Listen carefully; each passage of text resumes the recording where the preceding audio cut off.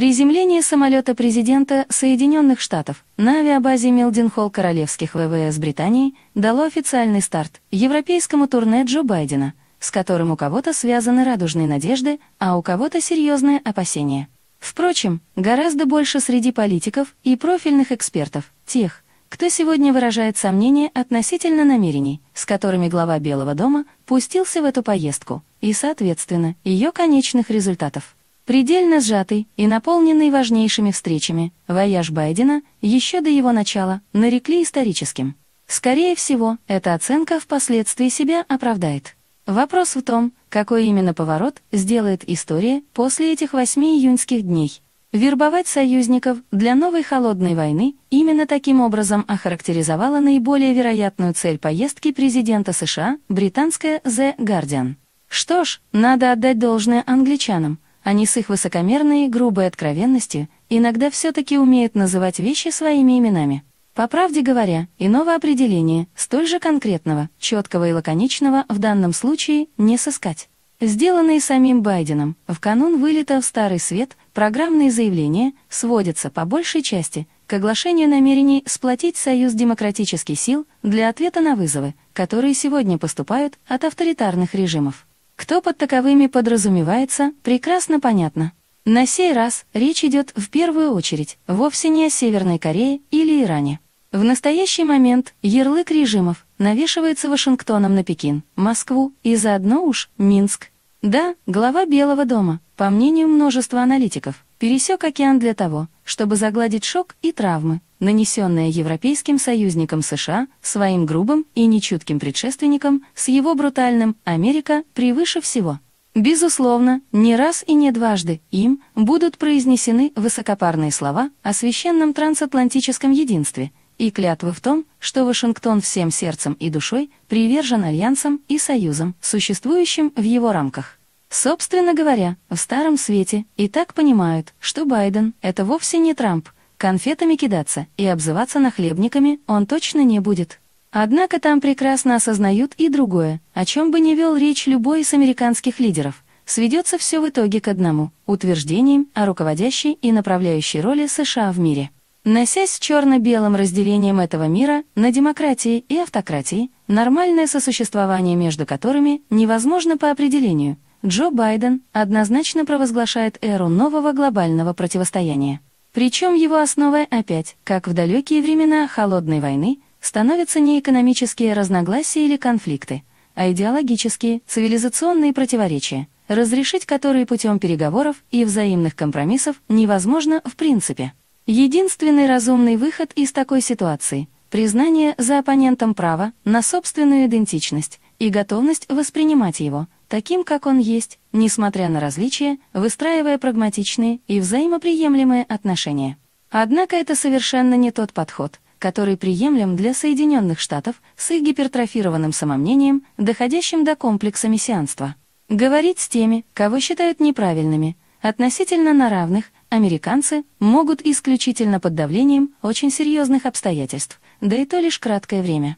Так им приходилось вести себя с Советским Союзом в период его максимального расцвета. Однако начатое Западом в 1946 году противостояние не прекращалось при этом ни на день и в конечном итоге свелось к стремлению уничтожить противника не тем способом, так другим. Сегодня место империи зла в геополитической концепции Вашингтона занимает прежде всего все больше мешающий его глобальному доминированию Китай.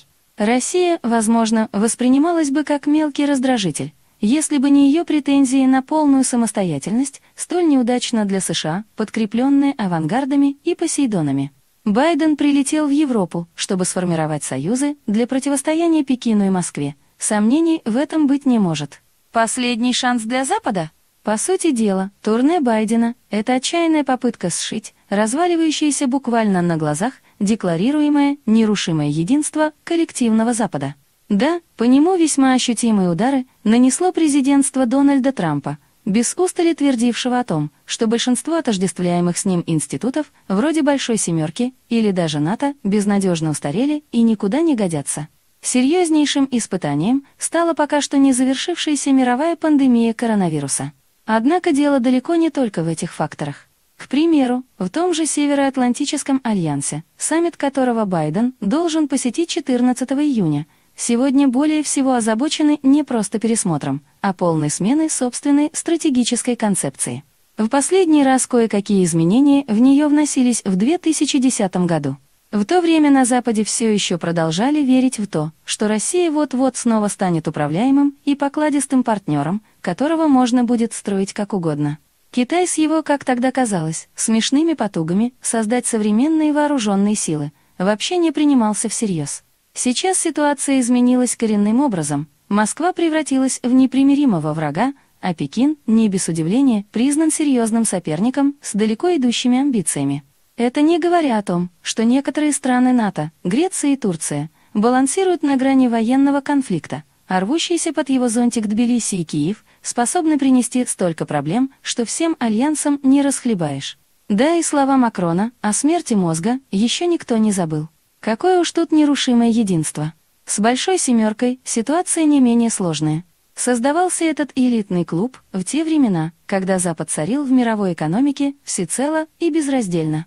В 70-е годы прошлого столетия на страны G7 приходилось чуть ли не 80% мирового ВВП, Сейчас этот показатель не дотягивает и до 40%. Согласитесь, в такой ситуации сложновато диктовать и указывать кому-то что-либо, хоть относительно зеленого курса, хоть в любых других аспектах. Впервые то, что «семерка» несколько переоценивает свою роль в глобальном раскладе, стало понятно уже после всемирного кризиса 2008 года. Тогда состоялся первый саммит уже в формате G20, за столом которого кроме западных стран оказались Китай, Индия, Россия и прочее. На нынешнюю встречу лидеров G7, которая состоится 11-13 июня, приглашены представители Южной Кореи, Индии, Австралии и ЮАР. Такой подбор гостей сразу же наводит на мысль о том, что во главу угла тут будет поставлено не желание решить какие-либо глобальные проблемы, а стремление Вашингтона пользуясь случаем, сколотить как можно более широкую антикитайскую коалицию. Все нынешние действия администрации США, вплоть до напрямую затрагивающие нашу страну решения о подказе отряда санкций против Северного потока-2, направлены как раз на достижение этой цели. Нервировать Германию, и без того совершенно не стремящуюся к конфронтации с Поднебесной, попытками торпедировать важнейший для нее экономический проект, было бы в этой ситуации крайне неразумно. Байден, не Трамп, он это понимает и потому действует намного аккуратнее и дипломатичнее. Что, впрочем, нисколько не меняет его истинных взглядов и намерений. Сутью таковых является, как уже было сказано выше, все то же восстановление глобального доминирования США. Возможно, в Европе кто-то и радуется президентским словам «Америка вернулась». Однако нашей стране они однозначно не сулят ничего хорошего. Встреча с Владимиром Путиным в Женеве должна увенчать собой европейский тур главы Белого дома, и это довольно символично. Как известно, серьезные люди оставляют напоследок самые важные дела, подводящие итог целому ряду их действий, направленных на решение какого-то глобального вопроса. Скорее всего, и тональность, и содержание разговора на берегах Женевского озера будут зависеть от того, чего Байден сумеет добиться в Лондоне и Брюсселе. Кстати говоря, то, что его визит в Старый Свет начинается в Великобритании, и именно там глава Белого дома пробудет больше всего времени, свидетельствует в том числе и о неуверенности Вашингтона в результатах переговоров с партнерами из ЕС. Свой брат, британец, не подведет. Уж в этих-то союзниках американцы могут быть уверены всегда.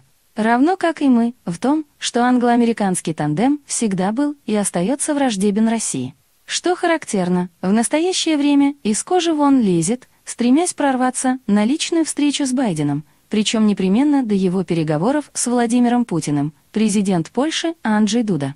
В Варшаве считают, что консультации с ним, американского лидера, просто необходимы для безопасности всех стран Восточной Европы, которые очень сильно напряглись из-за решения Вашингтона не продолжать блокаду Северного потока-2. Насколько известно, встречаться и разговаривать на полях саммита НАТО глава Белого дома намерен исключительно с Реджепом Эрдоганом, и вряд ли его планы изменятся. Нелепые телодвижения Польши, Украины и прочих держав подобного калибра в данном случае не просто смешны, а еще и бессмысленны. О том, что в Москве никто не ожидает от Женевской встречи, никаких перезагрузок и прорывов, уже неоднократно заявляли самые разные люди – от Дмитрия Пескова до Сергея Лаврова.